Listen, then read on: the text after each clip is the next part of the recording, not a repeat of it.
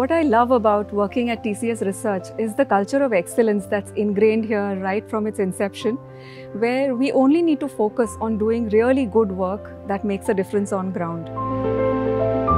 Hi, I'm Deepali Kholkar, Principal Scientist at TCS Research and the Software Systems and Services Group.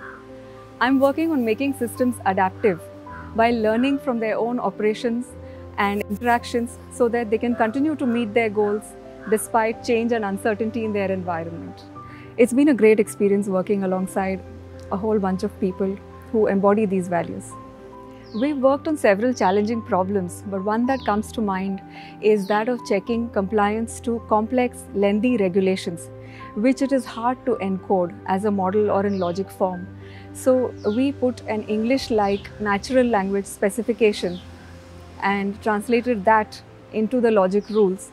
So shielding uh, the technical nitty-gritty from the domain experts and yet putting a very powerful automated checking tool in their hands.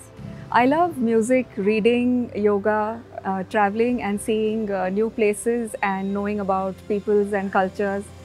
Music, I have recently started learning to play the keyboard and learning some vocal Indian classical just for my enjoyment. Yoga has been an integral and very enjoyable part of our life at TCS Research. We've had uh, regular yoga sessions which are great fun, including the desk yoga sessions. I feel whether it's music or reading or yoga, uh, all of these hone different skills and add a new dimension to the thought process.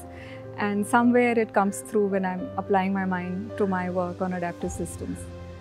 And I believe it helps think more creatively and think of different approaches solving problems. At TCS Research, we have the freedom to define our own problems, our own approaches to solving them. And even if there are differences of opinion, we can uh, do our individual thing and it really helps us to grow as researchers and I think there can't be a better workplace. The endeavor is to create technologies that serve as foundational frameworks not just for the software community but also address a larger societal need and I think that's what's most fulfilling.